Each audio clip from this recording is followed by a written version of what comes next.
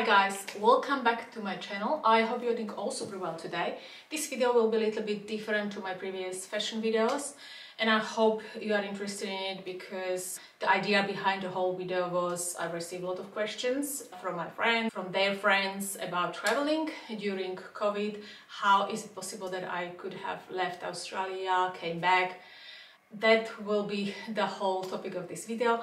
Also, I will be talking about the two-week quarantine process in Sydney hotel as well as some restrictions that were placed while I was overseas. If you are interested, please keep watching. I have seen from my Instagram that I've been overseas for five and a half weeks and I just recently returned. I will try to uh, answer all the questions that I have received, also plus more information. If you have any other questions, please leave them in the comment box below. I will try to answer all of them. You may know that the situation changes every day, so the restrictions placed uh, while I left could have changed.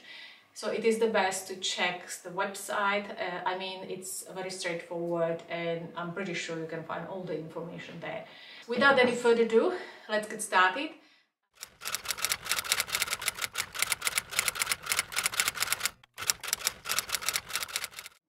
I have decided to travel to Europe at the beginning of July when my dad got sick. Before you travel, you actually need to buy the ticket. I bought it on Emirates website. It was very easy and straightforward. I set the departure date four weeks from the day when I apply for the exemption to leave because the website stated that they can take up to four weeks to respond to my request. I didn't take any chances, you know, that the tickets will fall or I had to move it or whatever. And I set the return date five and a half weeks from the departure day.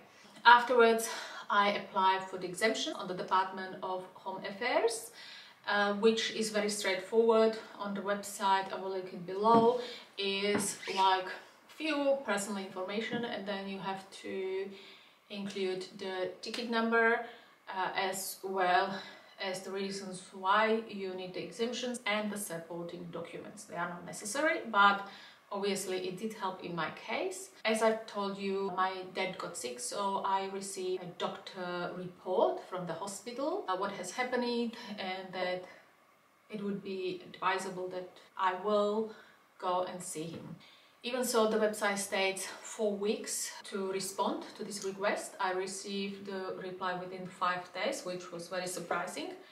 And the request was granted. I started to prepare for my departure. Uh, my departure ticket has been changed twice, only by one day. So I departed two days later and the returning date has been changed only once. So I returned actually one day later as planned. The Emirates also contacted me beginning of August if I don't want to fly within two days. That was a little bit too fast for me because I need to fix a few things here and prepare for my departure just in case anything gets worse in Australia or back in Europe. At the end, I departed two days later than I bought the ticket. Both airports, Dubai and Vienna request a corona test. Dubai 72 hours before departure and Vienna 42 hours before departure. So I have completed my corona test here in Sydney. The results came within two hours, so it doesn't take too long. The Emirates website states exactly what Dubai airport and Vienna airport request. So they request to fill in these documents, this Dubai and this Vienna. It is not complicated, it's just simple, I think, administrative work. I print obviously everything out. It is advisable, guys, Uh, bring all documents with you. I had them on a hard drive, I had them printed out because they are necessary especially the corona test has to be in printed form because I did travel with passengers who did not have the printed form of the corona test, had to stay at the airport and do the test again and waited for the results so they missed the connecting flight. Guys, have everything printed out, have it filed, have it saved, whatever, just take with you everything. On the day of departure, I arrived to the airport three hours before departure, even so the advisable are two hours. I was lucky I arrived three hours before because I had not expected such a big line and wait for check-in. I waited around one and a half hour to check in. It was ridiculous. At the airport in uh, Sydney, everyone is required to wear mask. That was a requirement as well during the whole flight. The mask had to be worn. You had one station that they were checking passports and other papers that you have. Then you went to the check-in person. The check-in lady had to call the border security just to make sure that I had the exemptions to travel. Even so I had the printed form, it was not sufficient. Then she had to call her supervisor to confirm that I can fly. So I found this really ridiculous. Then we went to passport control. It was very easy because there were not many people. On the day, there were three flights only from the Sydney airport. So imagine that each flight had half of the passengers, so not really many. If you're asking about tax refund scheme, the office was closed, but there were little kiosk with one person no people waiting whatsoever. It was really hard to find, but eventually after the passport control, the office is navigating me where to go. It was easy, simple. First time in my life, I did not have to line up in a long line and wait for a long time. The airport looks like a ghost town. If you have seen my Instagram, you would see from the stories how sad it looked. I will try to insert all the pictures of the airport that I have taken. All shops have been closed. The only three shops open were pharmacy and two food stores and that's it. The boarding was very quick since there were half of the passengers. The seating was every second person plus zigzag. Every single person had to wear masks.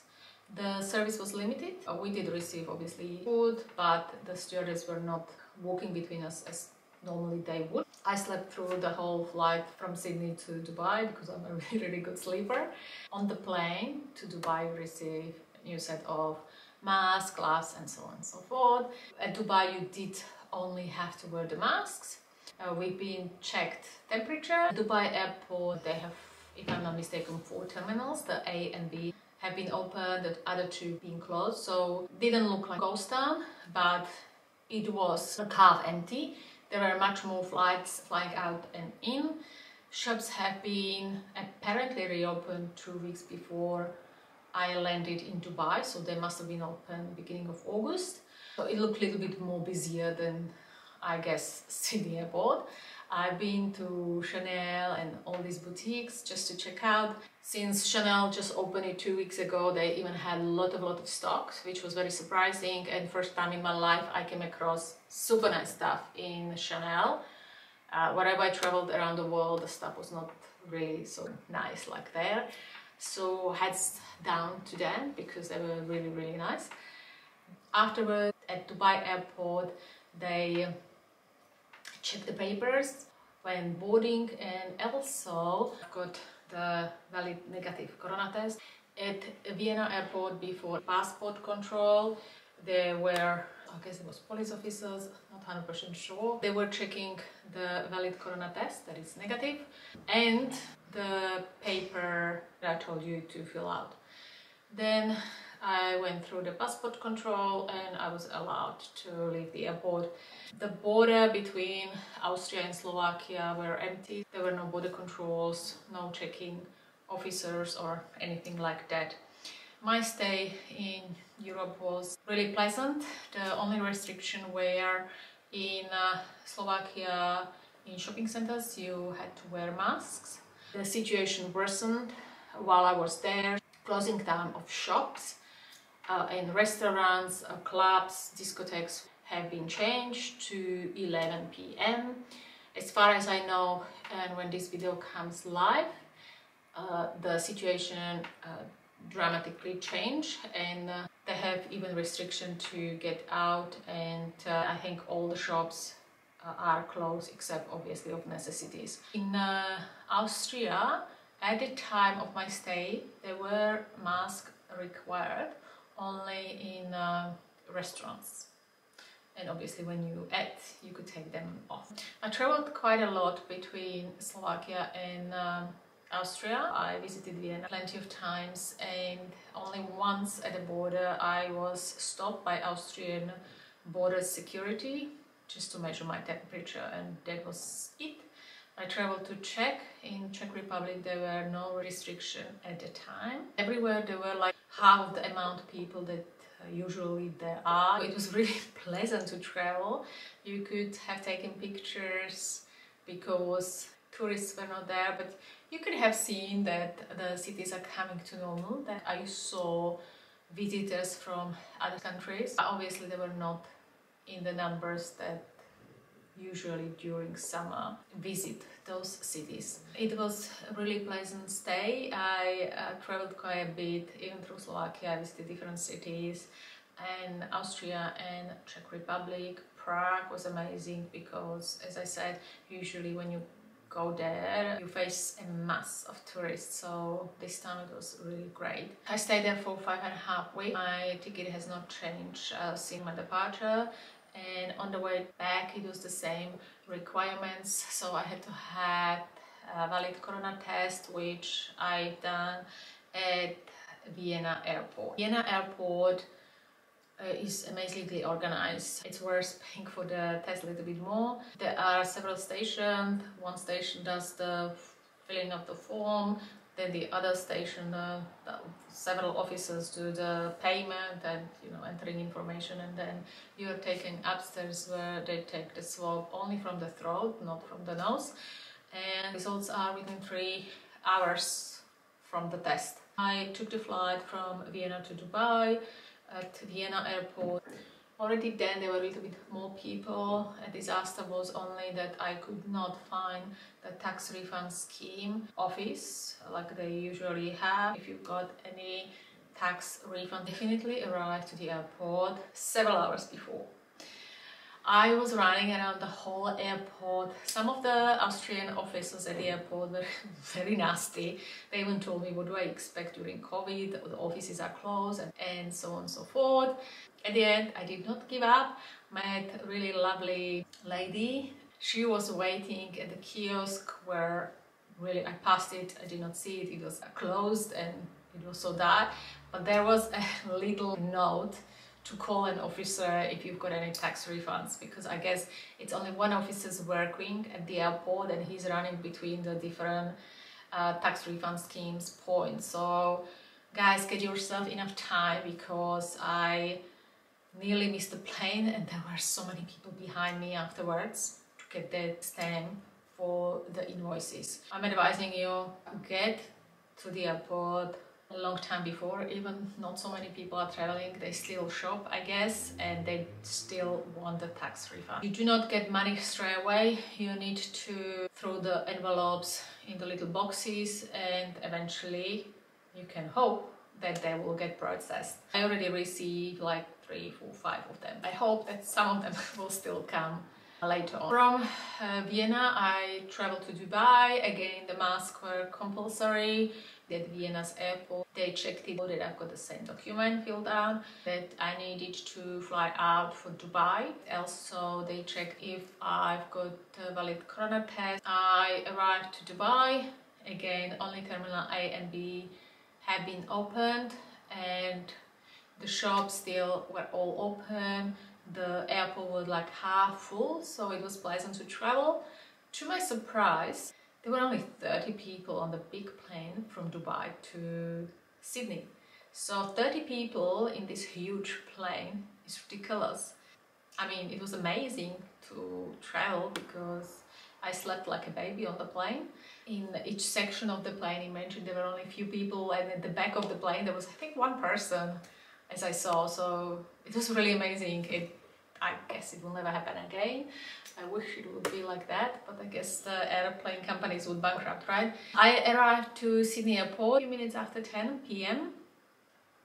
The airport was empty, so there were only 30 of us arriving and uh, we were directed to different section of the airport I haven't been to. There were some medical staff waiting for us. Each of us uh, was, of course, with mask allocated to one of them. They were taking our temperature, asking questions if we've been to contact with any COVID person or if we have been exposed to anyone with the symptoms. After the questioning, we went through normal passport control as usual. Then we collected our luggage and after we went, depends if you have anything to declare, different departments to go through. I got to check the luggage. The departure was closed and we went to different part of the airport, which again I haven't been to. 30 of us were waiting for the officers. Uh, the police were greeting us and uh, we were taken on the bus. There were a little station with a police officer asking who's got exemptions to quarantine.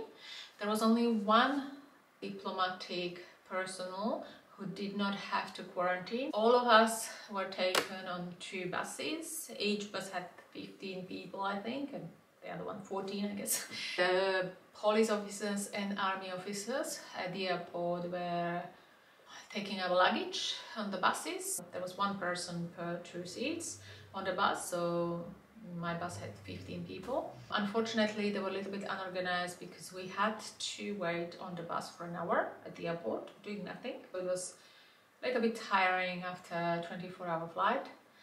Afterwards, we were finally taken to Sofitel Wentworth in a city, only to find out that they had only 11 rooms available. Four of us uh, had to be transferred to different hotels, therefore we had to wait another like half an hour, 40 minutes on the bus until they figure out where the rest will go.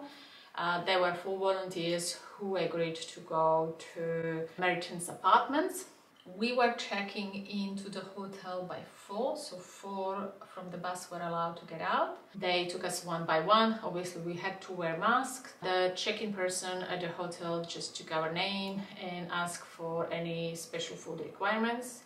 I opted for gluten-free food, which I regretted later on. Then we were allocated two army officers for each of us who took our luggages right before the lifts there were stationed and there were like three police officers who checked our passport and uh, we had to give the, obviously again the details and emergency contact details. And then the army officers took us upstairs to the room. I was on the 17th level of the Sofitel Wentworth and army officers had obviously the key to the room. They let me in and two weeks quarantine started in the hotel.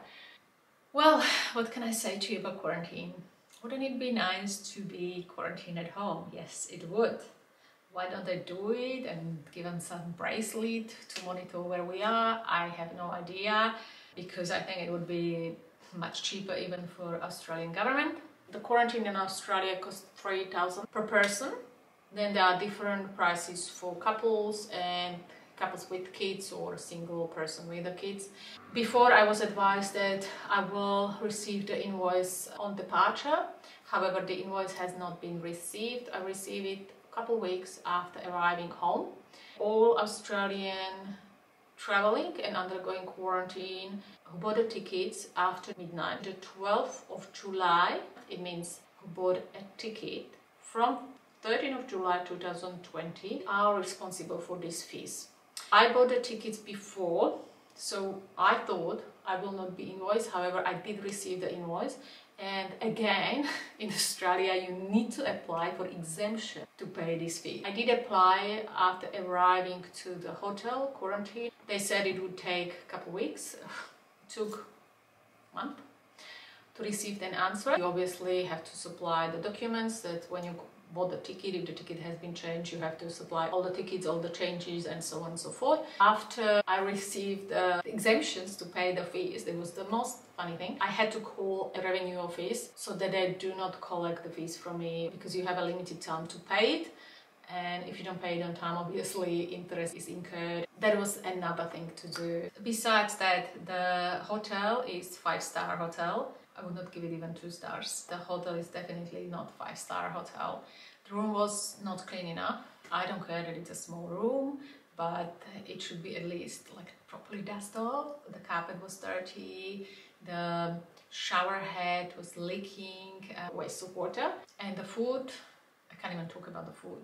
I'm pretty sure if there would be some animal, even the animal wouldn't eat it. That's how bad it was. I can't even describe it to you, but I'll show you some pictures and you be the judge. It was bad. I'm still so shocked that somebody can actually send such a food out. And yeah, I mean, It was horrible.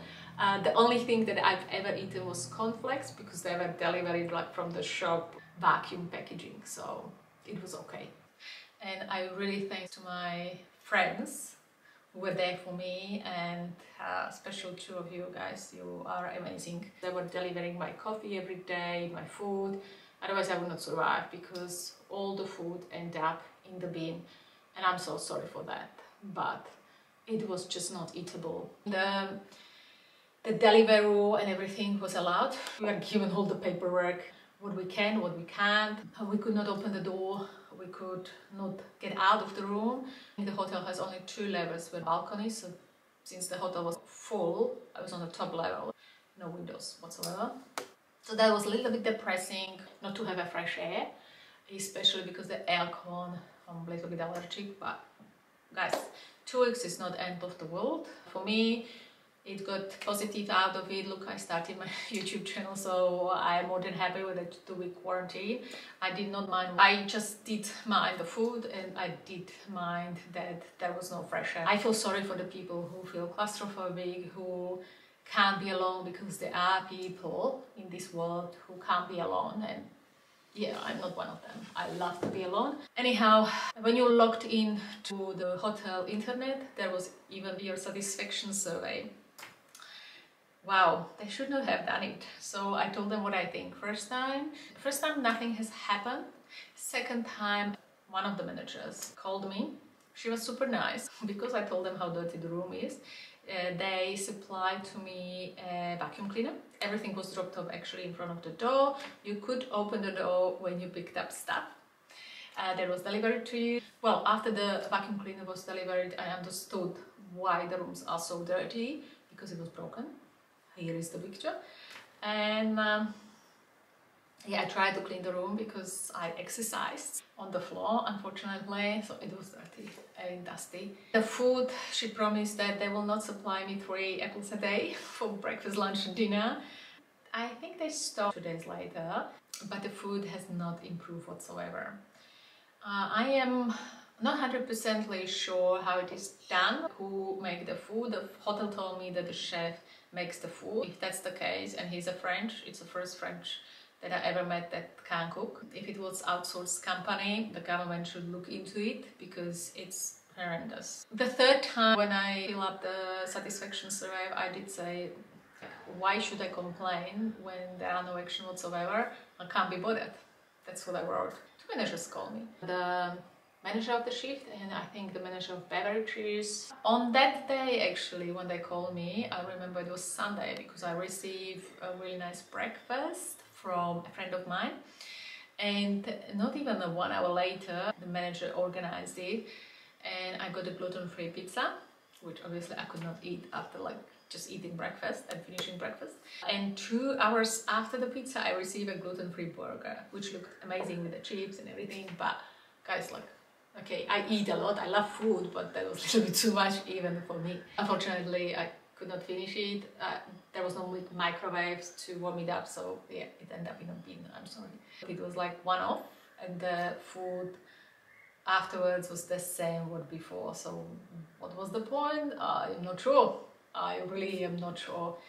Besides the food, I had my routine. Every morning I exercised, then I did some phone calls, emails, and as I said, I started my YouTube channel, so I had to do a lot of editing. So I was busy through the day and at night I watched a couple hours TV and then midnight I was in bed. I had pretty good routine. 14 days went past like this. I did not have issue.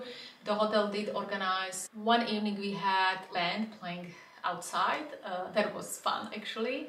And once they organized a theater online, but I did not take part of it because I was busy. There were nurses calling us every single day to check up on our health, if we have developed any symptoms or how we feel.